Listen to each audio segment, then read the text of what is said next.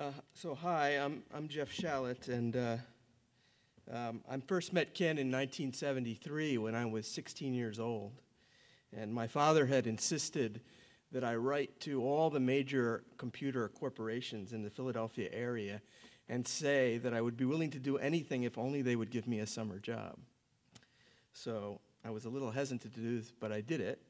And one of the places I wrote to was the IBM Philadelphia Scientific Center which was at 3401 North Market Street, a place that we passed very frequently in the car on our way to downtown Philadelphia. And it was called the University City Science Center. And when I passed it, uh, I had the dream of becoming a scientist, and I thought, oh, maybe someday I'll work there. And uh, so I wrote them, and I said, you know, I, I, I wrote to IBM, and I said, uh, you know, uh, maybe you need a summer student to help. I'll do anything. I'll even empty the trash cans. Uh, just give me a job. So somehow the letter made its way to Ken. I didn't address it to him. And uh, he, I got a call, and uh, they wanted to interview me. So I went there, and uh, I met Ken and Adin together in an office, and they proceeded to quiz me about what I knew of mathematics and programming to see whether I was somebody they would want to hire. And they said, Have you ever heard of APL? And in my 16 year old desire to show that I knew everything in the world, I said, Oh, yes, that's the language where everything is done backwards, isn't it? At, at that point, Ken rolled his eyes to the ceiling, and I knew that I had made a terrible mistake. But uh, nevertheless, he did hire me, and I proceeded to, uh, to meet the person who was probably the, have the most influence on my life, my scientific life, but also my personal life, as you'll hear in a second, uh, of anybody that I'd ever met.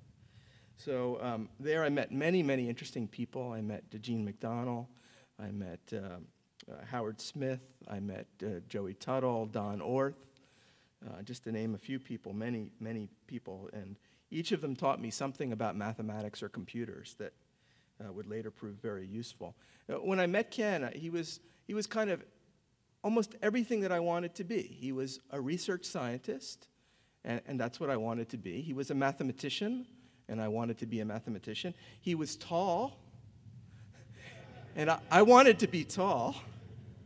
He had blue eyes, and I wanted to have blue eyes. He, he spoke French fluently, and I was a real Francophile at the time. And he, he was also always saying witty French uh, witticisms like, La vie est comme un bol de merde.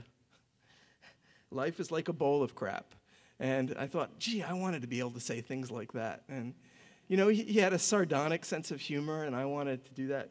He was Canadian. Well, I wanted to be tall. Um, and uh, uh so uh, it was really a terrific summer there working, and I continued my association with him uh, for, for a while.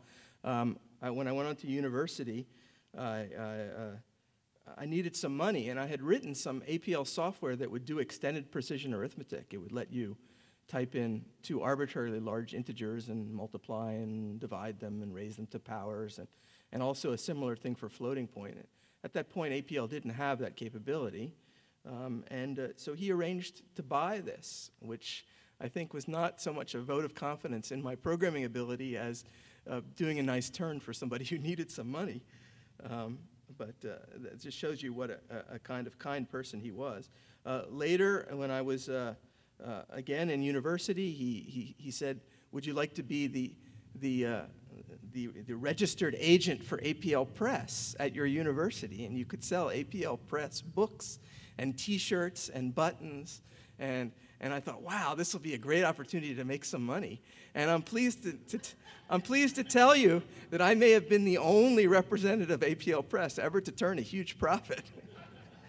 and if any of you would like the APL buttons, the APL Press buttons that I still have, uh, just send me some email. Uh, it's shallit at uwaterloo.ca, and I'll put one in the mail to you. I probably have the largest collection of APL Press buttons in existence. Um, so I said that Ken was the most formative uh, uh, influence on my scientific career. That's because without APL, I couldn't have done the I couldn't have found the various mathematical results that I found. There, It was absolutely essential. It still is. Uh, the most recent, the first paper that I wrote and the most recent paper that I wrote both used APL essentially to find the result and, and prove it. Um, but he also had a really strong influence on my personal life, which I'm not sure he even knew, which is that uh, I wrote a paper on fractals with APL, and it actually was the front cover of a quote quad issue with some of the fractals that I drew uh, with APL. And uh, so I was invited to speak at the Toronto uh, APL meeting, and I had met a woman at a conference earlier that year, and she was at Waterloo. And uh, I thought, oh, well, I'm invited to Toronto to speak. I might as well go in and visit her. And, and I did, and uh, managed to give the talk at the APL meeting the next day, although I was rather bleary eyed. And uh, uh, a year later, we were married, and uh, we have two kids now. And, uh, and uh, she, she taught at the University of Waterloo, and so then they hired me too, I guess, because they were afraid of losing her, not for any value. not for any value of me. Uh, I want to I wanna finish by, by saying something that happened with a, a visiting researcher at Waterloo uh, a month ago, which is uh, a visiting researcher from Finland came and had a problem in number theory.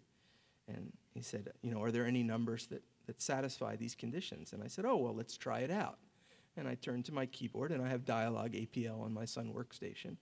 And uh, in less than five minutes, I had a running program to test his conjecture. And I said, okay, well, we'll let it run here while we talk. And so I hit the return key and we talked. And oh, 10 seconds later, it came up with a counterexample.